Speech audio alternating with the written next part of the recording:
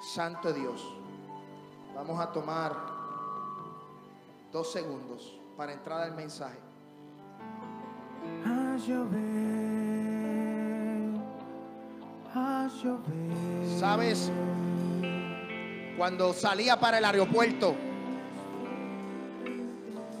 salía para el el aeropuerto la noche, día noche, ayer en la noche, a buscar al evangelista que iba a estar con nosotros. El aeropuerto, lamentablemente, pues le dio un infarto y tuvieron que llevarlo de emergencia al hospital. Y pues no puede estar con nosotros aquí. Le pido disculpas.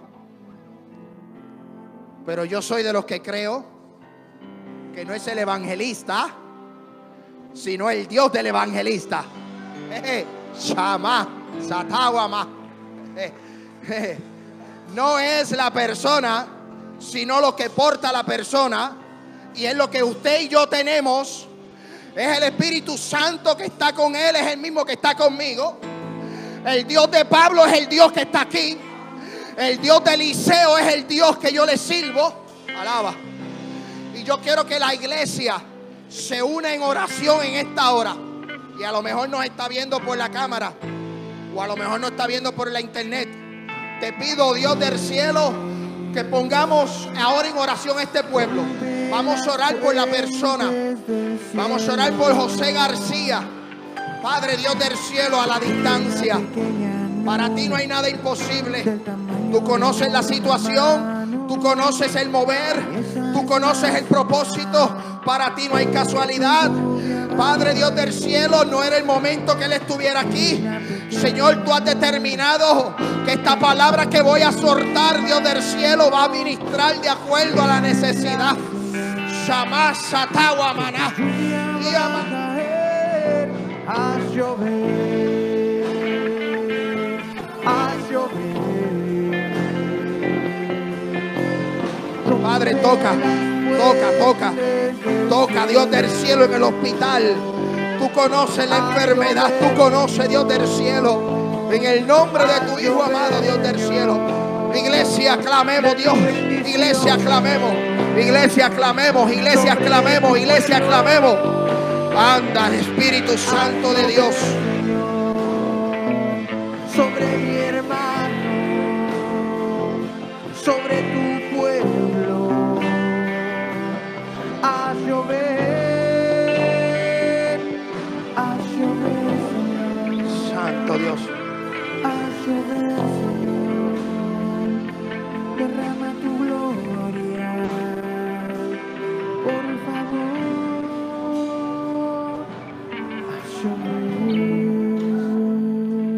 Gracias, Dios. Gracias por tu presencia. Gracias por tu gloria. Gracias porque tú eres bueno. Asimismo, en la misma atmósfera del Espíritu, le pido que abra su Biblia en el libro de Primera de Reyes, capítulo 16. Primero, Primera de Reyes, capítulo 16, versículo 21. Saludamos a toda la visita. Este es tu amigo el pastor Ismael García. Amén. Llevamos un año y alrededor de 10, 11 meses eh, ministrando en esta hermosa congregación. La visión que tenemos para este año que Dios nos ha entregado es salvación, avivamiento y expansión. Este año es un año de salvación. Este año es un año de expansión. Este año es un año de milagro, de poder. Mientras la gente está desesperada, mientras la gente camina sin fe y sin esperanza, mientras la gente, amén, está en un deterioro mental, mientras la gente no sabe qué hacer con lo que está aconteciendo en el mundo, con lo que está aconteciendo en Puerto Rico, que cada tres horas está temblando. Han habido más de 1200 terremotos, temblores en la tierra. Estamos viendo una Australia, un continente siendo quemado por el fuego. Estamos viendo las guerras de Medio Oriente. Mi alma adora al Cristo de la gloria. Hay gente que está asustada. Hay gente que no sabe qué hacer. Hay gente que está preocupada. Pero todo esto, yo le voy a decir una cosa en esta tarde preciosa. No son juicios, son señales de que algo grande va a acontecer, de que algo grande va a suceder. Yo quiero decirte a cada hermano que está en este lugar que los cielos serán abiertos y el deseado de las naciones. Descenderá. Y lo que dijo el apóstol Pablo a los tesalonicenses cuando dijo, con voz de arcángel, con trompeta de Dios, descenderá de los cielos. Y los muertos en Cristo resucitarán primero. Y juntamente los que vivemos seremos arrebatados. En algún momento la iglesia va a desaparecer de esta tierra. Oh, yo no sé si usted lo cree, pero Jesucristo viene pronto. Yo no sé si usted lo cree, pero todo lo que está aconteciendo es una señal y es que el Mesías va a retornar por su iglesia. No es tiempo de jugar. No es tiempo de jugar a ser el cristiano. No es tiempo de entrar y de salir. Es tiempo de amarrarse con Dios. Por eso el tema de esta tarde preciosa, de este mensaje es restaurando nuestro altar. Vamos a restaurar nuestro altar. Vaya conmigo a Primera de Reyes, capítulo 16, versículo 29. Primera de Reyes, capítulo 16, versículo 29.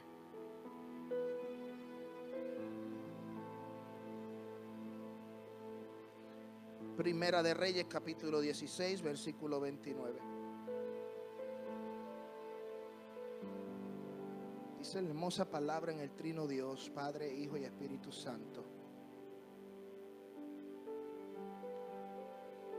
Voz de Dios hecha letra. Comenzó a reinar Acab, hijo de Onri, sobre Israel el año 38 de Asa, rey de Judá. Y reinó Acab, hijo de Onri, sobre Israel en Samaria 22 años. Y Acab, hijo de Onri, hizo lo malo ante los ojos de Jehová, más que todos los que reinaron, reinaron antes de él. Porque le fue ligera cosa andar en los pecados de Jeroboam, hijo de Nabat, y tomó por mujer a Jezabel, hija de Edbal, rey de los Sidonios. Y fue y sirvió Baal y lo adoró. E hizo altar a Baal en el templo de Baal que él edificó en Samaria. Hizo también Acab una imagen de acera, haciendo así Acab más que todos los reyes de Israel que reinaron antes de él, para provocar la ira de Jehová, Dios de Israel. Dale la mano al que está a su lado y dígale, restauremos el altar. Dale la mano al que está a su lado y dígale, restauremos el altar. Restauremos lo que está destruido. Restauremos lo que está caído. Restauremos lo que está dañado. Puede tomar asiento, pero no siente la alabanza. Dios bendiga de manera especial a la pastora Troche y a su esposo. Muchas bendiciones. Gracias por asistir y estar con nosotros en este día hermoso. Luego del mensaje, pues, le daremos una parte para que salude a la iglesia. Santo Dios.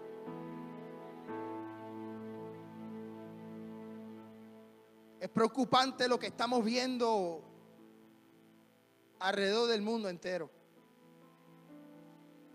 Hemos comenzado el año 2020 bajo rumores de guerra. Hemos comenzado el 2020 bajo terremotos. Hemos comenzado el 2020 con países pasando hambre. Hemos comenzado este año 2020 con países quemándose. Y hay muchos profetas de agua dulce, hay mucha gente hablando cosas que no son. Yo creo que la gente tiene que abrir sus ojos, abrir, abrir sus oídos y entender lo que las santas escrituras, lo que los profetas, lo que el mismo Jesús de Nazaret dijo cuando enseñaba en el monte de los olivos. Allá en Mateo capítulo 24 donde dijo que oiréis rumores de guerra. Habrá hambres, pestes, naciones contra naciones. pueblos contra pueblos, padres contra hijos, hijos contra padres. Dice las sagradas escrituras que algo va a acontecer. Y eso que algo va a acontecer lo que muchos han predicado por años. Y es la venida de nuestro Señor Jesucristo. Es la venida del deseado de las naciones. Es la venida de uno que un profeta dijo que sería Emanuel, Dios con nosotros. El mismo profeta declaró y dijo que un niño nos ha nacido, hijo nos es dado, y su reino será poderoso, y su nombre, y se le conocerá como príncipe de paz, admirable consejero, Padre eterno. Yo quiero que en esta tarde preciosa usted llegó aquí, pero yo te tengo que entregar un mensaje. Y Dios no se equivoca. Hay una necesidad terrible en el pueblo, hay una necesidad terrible en la ciudad. Hay gente quitándose la vida. Hay gente que han sido diagnosticados con un cáncer en el seno. Hay gente que ha sido diagnosticado con cáncer en el hígado. Hay gente que está sufriendo en esta hora. Hay madres que han perdido a sus hijos. Hay padres que han perdido a sus hijos. La maldad se sigue multiplicando. El pecado sigue aumentando. La Biblia me dice a mí que la paga del pecado es muerte. Y como el pecado sigue aumentando, sigue aumentando la muerte. Estamos en un nuevo año. Estamos comenzando una nueva carrera. El 2019 pasó, ya se terminó. Es un, nueve un nuevo año y solamente tenemos 12 días de haber comenzado este nuevo año. Es triste ver una isla del Caribe pasando por lo que está pasando, que jamás había pasado y que a lo mejor otros países no han pasado. Desde el diciembre 28 ha estado temblando y temblando, haciendo unos temblores 6, 6.5, 5. La gente está desesperada. Aún los mismos cristianos están desesperados porque la tierra no deja de temblar. Es triste ver cómo no pueden dormir dentro de sus casas por temor y tienen que dormir a la intemperie en la calle. Es triste ver cómo la comida no está llegando a otros lugares. Es triste ver lo que está sucediendo en el mundo y la gente no quiere hacer caso a la voz de Dios.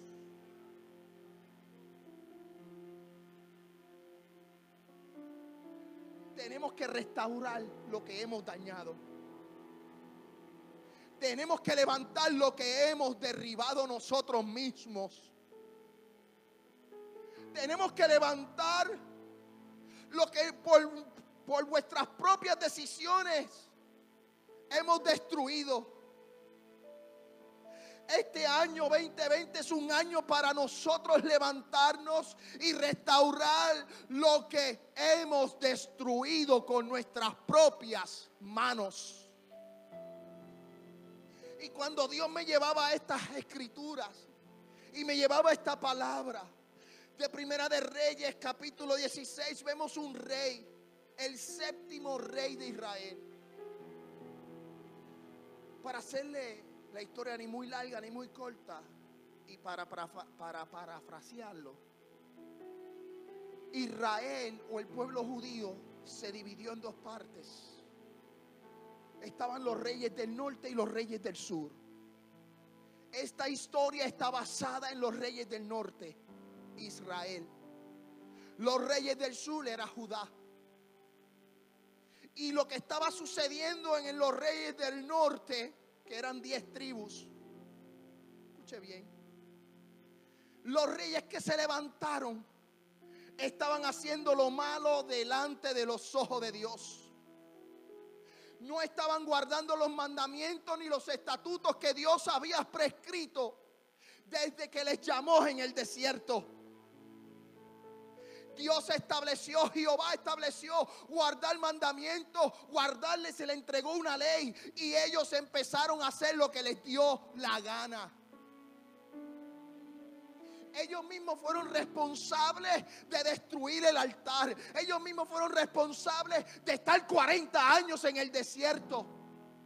Ellos mismos fueron responsables de todo lo que le ha sucedido por no escuchar la voz de Dios. Por no seguir la palabra de Dios. Y a veces nosotros estamos como el pueblo de Israel. Ustedes y yo estamos como el pueblo de Israel.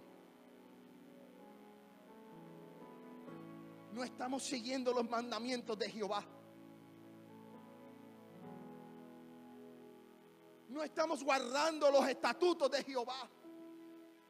Estamos destruyendo nuestro altar en nuestra casa. Hemos destruido nuestra familia. Hemos destruido nuestro matrimonio. Hemos destruido a nuestros hijos. Usted dice, ¿por qué vine a la iglesia hoy? Ese pastor está loco. Yo vine para ver al evangelista José García. El Dios que yo le sirvo no es un Dios de casualidad. Y Dios tenía todo esto coordinado y planificado. Y esta palabra que se te está entregando es para que tú tengas conciencia, para que tú empieces este año a restaurar lo que está derribado o lo que en el 2019 fue destruido. Porque nosotros tenemos que aprender de los errores de los demás. ¿Y quiénes son los demás? El pueblo de Israel. Vimos las consecuencias de lo del pueblo de Israel, pues no practiquemos lo mismo que el pueblo de Israel practicó. De no guardar los mandamientos de Jehová, de no seguir los estatutos, de no guardar la ley de Jehová. El pueblo se dividió, los del norte y los del sur. Y dice que Acab, hijo de Onri, empezó a hacer lo malo de los hijos de Dios. Empezó, santo Dios, a tener, a hacer cosas que a Dios no le agradaban.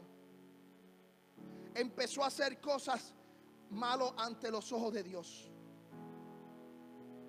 Cosas que Dios había dicho, no lo hagas. Él las hizo.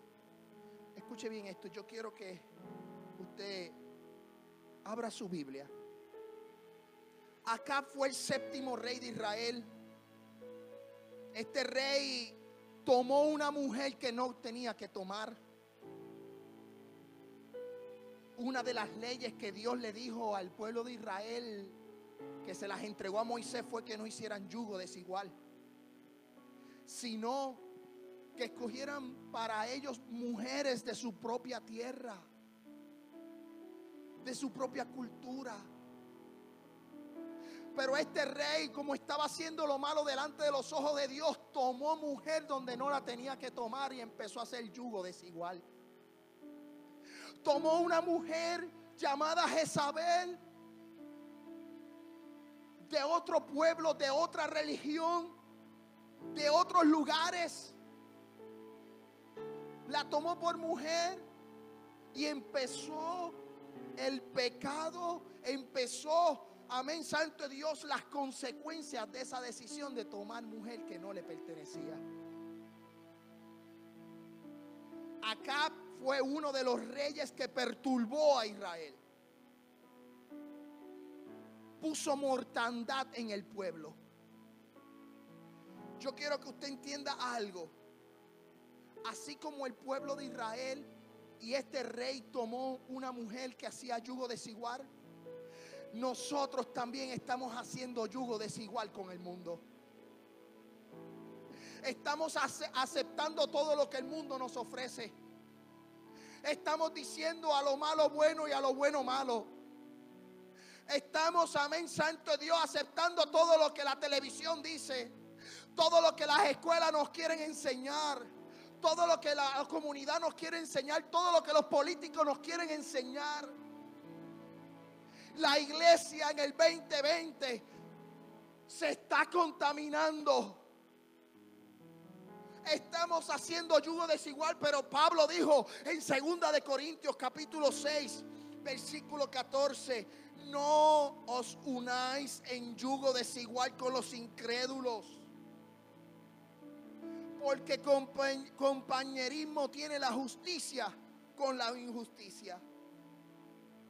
¿Qué amistad puede tener la justicia con la injusticia? ¿Qué comunión tiene la luz con las tinieblas? Este rey tomó una mujer que no le pertenecía. Este rey tomó algo e hizo algo que para la ley de Jehová era desagradable. Y pues lamentablemente esa decisión trajo consecuencias. Hay una situación grave en este año, hay una situación grave con las naciones, hay una situación grave con lo que está pasando. Y es que estamos tomando decisiones con unos resultados, con unas consecuencias. ¿Sabes qué? Tenemos unas escrituras. Tenemos una iglesia, tenemos un pastor, tenemos una escuela bíblica, tenemos, amén, las iglesias están proveyendo material. Pero no, la gente no quiere, la gente quiere el entretenimiento. La gente quiere el baile, la gente quiere la gozadera. La gente quiere, amén, han tornado su mirada hacia atrás. En cualquier momento suena la trompeta, iglesia. En cualquier momento somos levantados de este lugar. La Biblia dice en un abril y cerrar de ojos será la venida del Hijo del Hombre. Y si usted ha llegado aquí, a este lugar aquí, es porque Dios te está dando una oportunidad. Dios te está diciendo que todavía hay una oportunidad y una solución. Que tenemos que restaurar lo que hemos dañado. Esto no se ha acabado porque mientras hay vida, hay esperanza. Alaba la gloria de Jehová. Mientras hay vida, hay esperanza. Mientras hay vida, hay amor. Mientras hay vida, hay solución. Restauremos lo que hemos dañado. Escuche bien esto. Santiago capítulo 4, versículo 4 dice, oh almas adúlteras, ¿no sabéis que la amistad con el mundo es enemistad contra Dios? Cualquiera pues que quiere ser amigo del mundo se constituye en enemigos de Dios. Y eso fue lo que hizo Acab. Eso fue lo que hizo el rey de Israel. Amistarse con los fenicios, amistarse con los de Siria, amistarse con otros reyes, tomar mujer que no le pertenecía. Ay, mi alma adora al Cristo de la gloria. Empezó a tomar decisiones y empezó a hacer lo malo delante de los ojos de Dios. Y ustedes creen que se iba a quedar así. No, no se iba a quedar así. Porque el rey tomó una decisión. El rey tuvo sus consecuencias. Y a raíz de esas decisiones, el pueblo también pereció. El pueblo pasó por, por problemas y vicisitudes. Pero lo que me llama la atención de esta historia es que mientras el rey, alaba, mientras el rey está cometiendo pecado, está haciendo lo malo delante de los ojos de Dios, había un hombre llamado Elías, profeta de Jehová, que no había doblado sus rodillas a Baal. Y así mismo como hay muchos que están doblando sus rodillas a Baal, hay muchos que están pecando, hay muchos que están haciendo lo malo delante de los ojos de Dios. Hay un pueblo, hay un remanente, hay gente que todavía ama a Dios sobre todas las cosas, todavía han puesto su mirada en el cielo, todavía pueden decir, Ebenezer, hasta aquí me ha ayudado Jehová. Todavía hay gente de Dios. Todavía hay profetas. Todavía hay evangelistas, todavía hay maestros y todavía hay pastores que no han cedido a las tentaciones de este mundo. Yo quiero decirte que todavía hay gente que ora, que todavía hay gente que lee la Biblia, que todavía hay gente que busca la presencia de Dios. Dios tiene sus profetas, Dios tiene su gente, Dios tiene un remanente fiel. Hay un remanente que está luchando cada día. Está luchando, está luchando, estamos luchando. Hay un remanente todavía que está de pie. Todavía hay gente que busca su presencia. Mientras otros están tomando malas decisiones, todavía hay un pueblo que ora. Y ese rey hizo una amistad con quien no tenía que hacerla. Pero dentro de esa amistad, dentro de ese pecado, dentro de esa, dentro de esa situación, había un profeta que estaba reservadito, que estaba guardado. Un hombre que hablaba con Dios. Un hombre que se comunicaba con Dios. Un hombre que estaba, amén, santo Dios, escondido. Y ese hombre Dios le habló. Y le dijo, Elías, el pueblo ha pecado. El rey ha pecado. Yo quiero decirte que no va a llover. Huye. Yo le voy a decir una cosa. Todavía hay profeta de Dios en la tierra. Todavía hay gente que habla la palabra de Dios. Y que da aviso. Dios da aviso. Dios da aviso. Dios viene hablando mucho tiempo. Dios viene dando profecía, Dios viene revelándose en sueños, Dios viene hablando en visión, Dios viene hablándole a las vidas, Dios viene hablándole a las iglesias y hay muchos que no están haciendo caso a la voz de Dios. Y cuando viene la situación, entonces empiezan a clamar para arriba. Todavía, todavía, todavía hay gente que habla de parte de Dios. Todavía hay profetas, hay maestros, todavía, todavía hay gente que habla y Dios está dando aviso. Dios da aviso y da noticia y habla y habla y habla y la gente no quiere hacer caso a la voz de Dios. ¿Cuántas veces Dios nos ha venido hablando a la isla de Puerto Rico? ¿Cuántas veces Dios nos ha hablado en esa isla? Que vienen situaciones, vienen momentos difíciles. 2017 los azotó un huracán de norte a sur, este a oeste. Diciembre 28 en adelante, temblores en enero 7. Terremoto más grande que ha habido en la no se había en la historia, no se había visto eso destruyó el sur por completo. Destruyó el sur por completo. Gente durmiendo en las calles, gente durmiendo en los carros. No tienen electricidad, no tienen agua potable. Están pasando por un momento duro. Pero todavía el gobierno insiste en, ce- en celebrar las fiestas de la calle San Sebastián donde hay alcohol, droga, donde hay prostitución. Donde todavía quieren el party, el festejeo, la fiesta. Y Dios viene hablando. ¿Cuántas veces Dios nos ha hablado en nuestros países, en Venezuela, en Ecuador, en Panamá, en Guatemala, en México? ¿Cuántas veces Dios viene hablando? Dios viene anunciando que van a venir problemas, van a venir situaciones duras, van a venir momentos difíciles. Pero no, la gente no quiere virar a Cristo, la gente no quiere retornar su mirada a Dios. La gente quiere estar en la gozadera, la gente quiere estar, amén, santo Dios, libre. Oh, somos millennials. Estamos en una nueva generación. Oye, es triste lo que estamos viviendo. Y así como el pueblo de Israel, el rey de Israel provocó juicio para su nación, donde no llovió por años.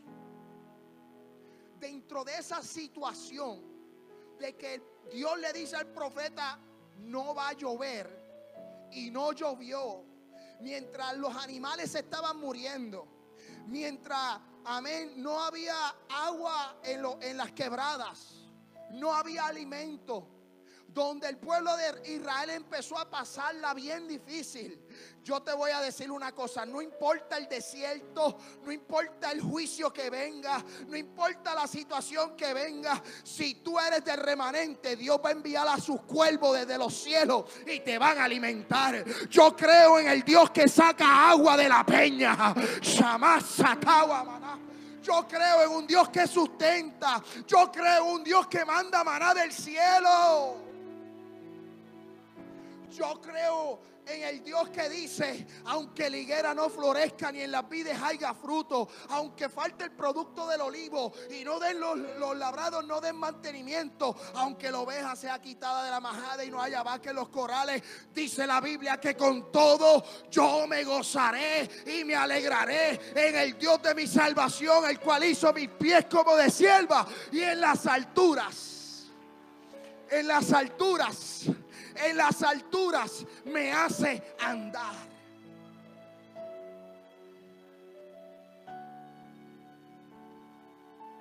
Está difícil la situación, está dura la situación, no hay agua, hay una crisis en el pueblo y el rey sigue pecando.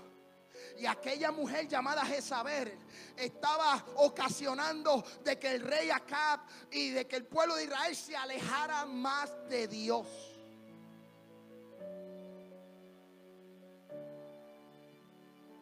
Yo no estoy hablando de una mujer mala.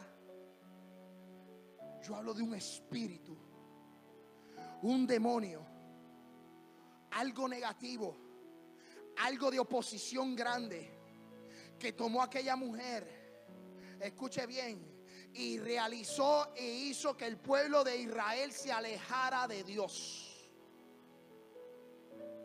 Hay mucha gente que ha confundido a Jezabel. Y piensan que Jezabel es esa mujer que se pinta, que hace aquello, que hace lo otro. No. El espíritu de Jezabel es el que te aleja de los caminos de Dios. Es el espíritu que te aleja de buscar la presencia de Dios. Es el espíritu, es el demonio que no quiere que tú busques al Dios de Israel, al Dios de Abraham, de Isaac y de Jacob. Y ese espíritu está hoy día está latente en la iglesia. Está latente en nuestra familia. Está latente en nuestras vidas. Y tenemos que acabar con eso. Tenemos que restaurar, tenemos que decir, no, se acabó. Hoy yo me levanto. Hoy las cosas en mi casa van a cambiar. Esa mujer provocó que el pueblo se alejara de las manos de Dios. Que se alejara y que se olvidara de Dios. Y sirvieran a Baal y sirvieran a Cera. Pero como esa mujer provocó eso, también Dios provocó que se levantara profeta. También provocó de que se levantara un hombre de parte de Dios anunciar el pecado. Se provocó, amén, que se levantara un hombre y anunciara la salvación y que anunciara de que el reino venía de parte de Dios y que Dios era el Dios de Abraham, de Isaac y de Jacob. Fue provocado. El pueblo fue llevado a juicio. Jezabel llevó a Acab a ignorar los mandamientos de Jehová.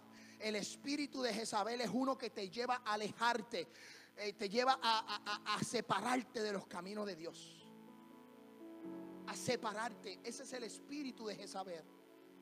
Ese es el espíritu de esta mujer que quiere controlar y separar los caminos de Dios.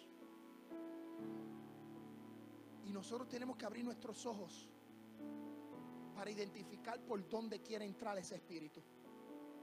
Tenemos que abrir nuestros ojos para poder identificar por dónde quiere entrar. Por dónde quiere hacer daño. Por dónde quiere alejarme. Tenemos que empezar a orar, a hacer vigilia, a hacer altar familiar. Hay que agarrar la familia y empezar a clamar en, lo- en la sala. Hay que empezar a clamar en los cuartos. Esto no lo va a arreglar nadie. Lo que está sucediendo en el mundo es que algo peor se avecina y la gente no quiere hacer caso. Escuche bien esto. La prueba de que Dios estaba con Elías, que estaba con el profeta. La prueba de que Dios estaba con Elías, que estaba con el profeta. Era que el altar estaba destruido. No llovía, no había comida, no había agua, los animales estaban muriendo. Entró un juicio sobre la nación de Israel. Entró un juicio. Entró el pecado. Hicieron yugo desigual. Fallaron. Estaban destruidos. Le hicieron templo a Baal. Le hicieron templo a Cera. Habían profetas dedicados para estos dioses terrenales. Habían 450 profetas de Baal y 400 profetas de Acera. Y el altar estaba destruido. El pueblo de Dios había conocido un Dios que los había libertado de Egipto. El pueblo de Israel conocía al Dios que les abrió el mar rojo. El, eh, eh, pueblo de Israel conocían quién fue el que derribó, derribó las murallas de Jericó. Yo creo que es tiempo de que nosotros como iglesia, como familia, volvamos, Santo Dios, a lo que dice Jeremías capítulo 6, versículo 16. Así dijo Jehová, así dijo Jehová, paraos en los caminos y mirad y preguntad por la senda antigua. Cuál sea el buen camino, andad por él, hallaréis descanso para vuestras almas. Mas dijeron, no andaremos. El pueblo de Israel dijeron, no andaremos. El profeta le dijo, buscad la senda antigua, buscad el primer amor, buscad los caminos originales y no los atajos que te van a llevar a la perdición. El pueblo, las naciones, la gente, las ciudades necesitan volver a la senda antigua, necesitan volver al camino de Jehová, necesitan volver al Amashaka y Amanserre que amaná. Anda Jehová. Necesitamos regresar a la senda antigua.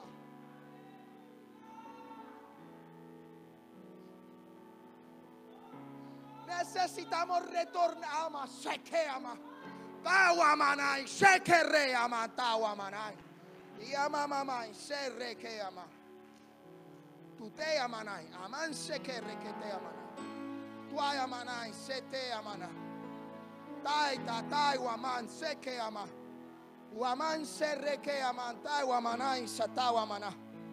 Jehová dice así: regresen a mis principios regresen a mis caminos. Regresen a mis escrituras. Taiwamana, aman se que aman, su tu erre que aman se te. Se han desviado, se han desviado, dice Jehová. se han desviado del camino. Hay gente aquí que se ha desviado de esos caminos. Shama, Satawama. Y aman sheke reke aman sete aman sutu reke amana satawamana. Y amamama sheke amana. Hay una presencia linda de parte de Dios en este lugar. Hay una presencia linda de parte de Dios en este lugar. Hay que volver a la senda antigua. Yo lo es que Dios no se equivoca. Dios no se equivoca yo tengo esta porción escritural aquí en la tablet, aquí en el estudio, aquí en el mensaje.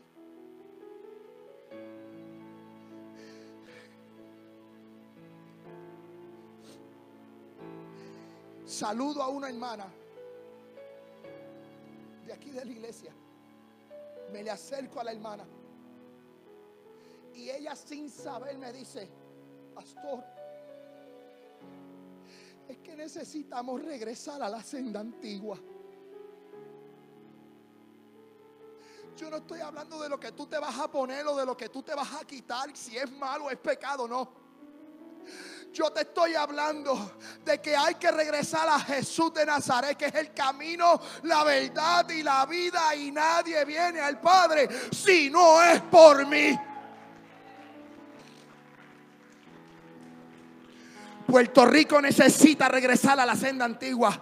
Venezuela necesita regresar a la senda antigua. Los países necesitan regresar a la senda antigua. Estados Unidos necesita regresar a la senda antigua. Porque en la senda antigua vas a encontrar la paz que tú necesitas. Vas a encontrar la verdad que tú necesitas. ¿Y sabes qué hizo el pueblo de Israel? Dijo, no andaremos. No andaremos. Prefirieron hacer altar a, Baal, prefirieron hacer altar a Cera, prefirieron, amén, santo Dios, irse con los placeres de este mundo. Hay muchos en la iglesia,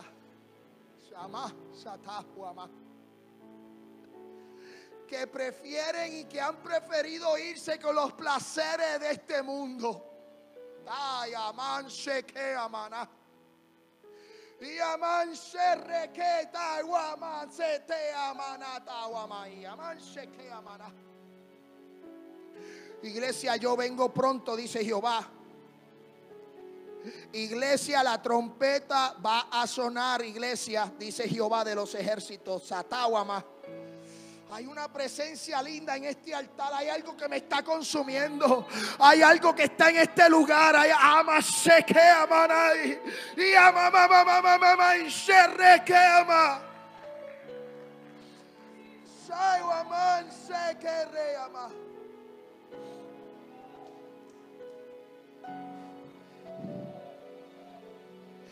Volvamos a los principios bíblicos, volvamos a los caminos de Jehová. Seamos el Elías en este tiempo. Seamos el Eliseo en este tiempo. Seamos el Pedro en este tiempo. Seamos el Pablo en este tiempo. Una nueva generación con una misma esencia. El Dios que yo le sirvo es el mismo ayer, hoy y siempre por los siglos de los siglos. El Dios que yo le sirvo no ha cambiado. El Dios que levantó a Lázaro después de cuatro días de muerto es el Dios que está en este lugar.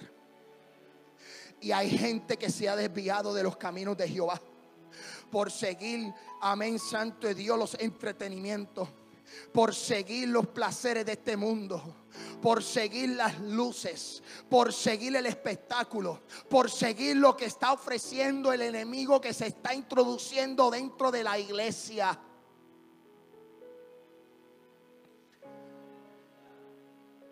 Y la hermana me saludó para regresar a la hermana y me dijo, pastor, necesitamos regresar a ese tiempo, a ese tiempo donde dependíamos totalmente de Dios. No quiere que me malinterpretan este comentario con lo que voy a decir. Estudiar es bueno. Prepararse académicamente es bueno, teológicamente es excelente, lo recomiendo. Pero yo creo que es momento de dejar el librito a un lado y buscar la presencia de Dios. Es tiempo de dejar el librito al lado, el comentarista, y buscar la revelación, buscar la rema de parte de Dios. Es tiempo de dejar el librito al lado, dejar el comentarista a un lado y buscar la revelación, la rema en nuestras vidas. Es tiempo de buscar el Rey de Reyes y Señor de Señores.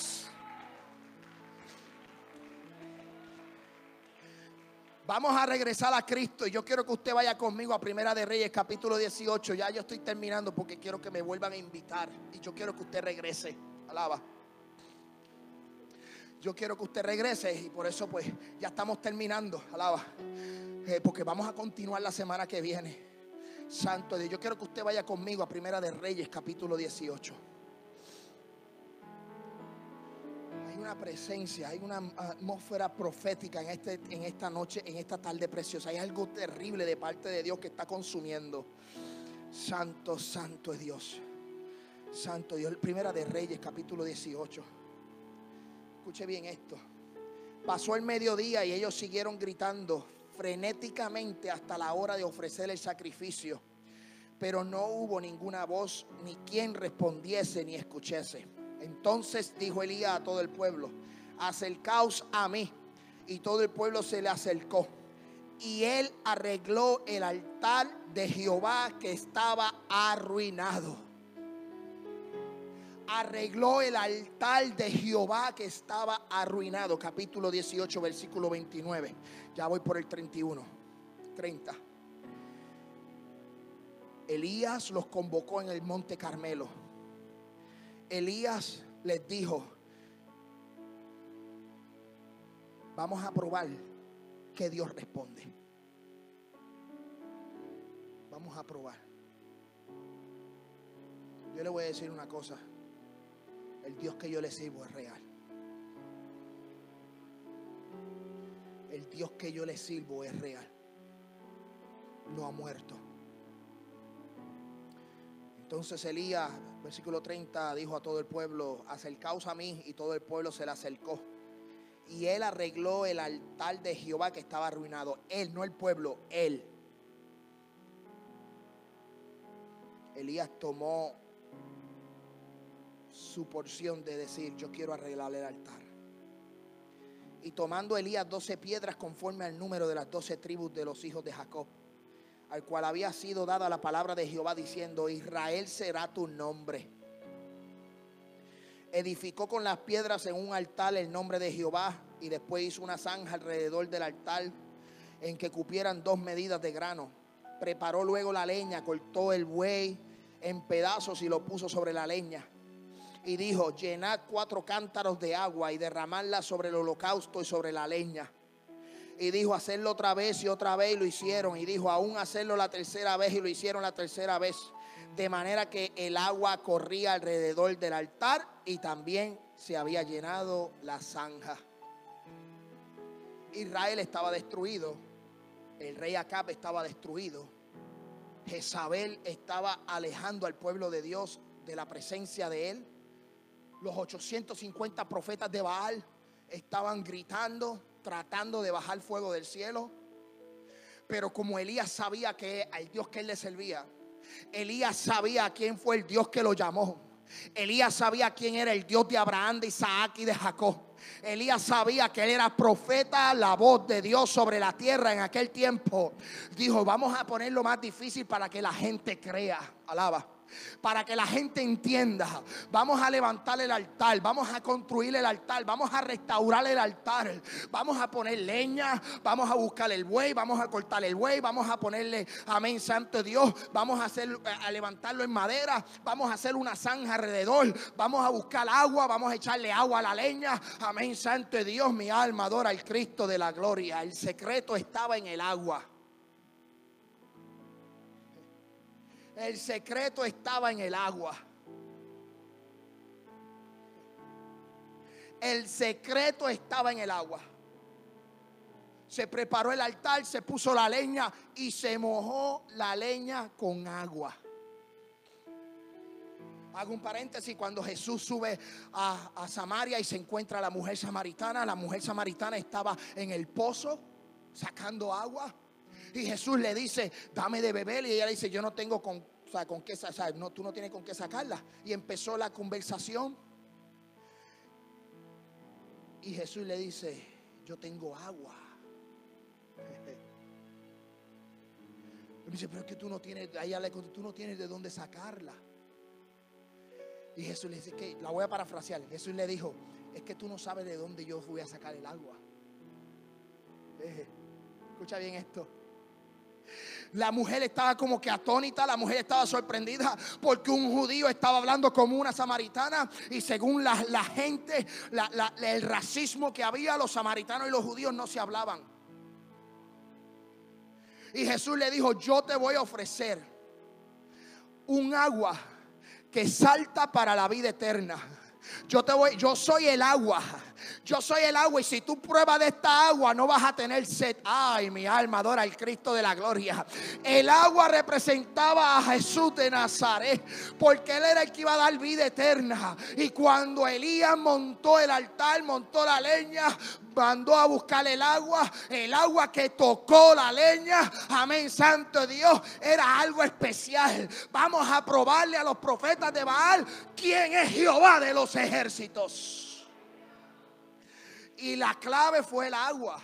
Y lo único que dijo Elías, lo único que dijo Elías fue Dios de Abraham, Dios de Isaac y de Jacob. Vamos al 36 para terminar. Cuando llegó la hora de ofrecerse el holocausto, se acercó el profeta Elías y dijo Jehová, Dios de Abraham, de Isaac y de, y de Israel. No menciona a Jacob, dice Israel.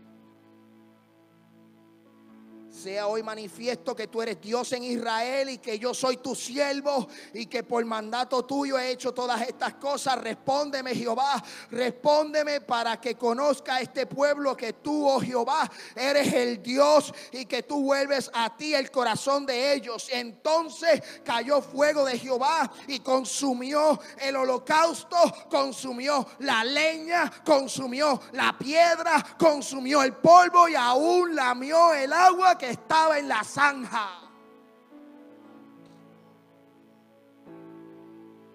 Uciel, sube acá. Vamos, los muchachos, suban acá. Daniel, ayúdame en la batería. Está medio cojo, Daniel. Sano en el nombre de Jesús. Sano en el nombre de Jesús.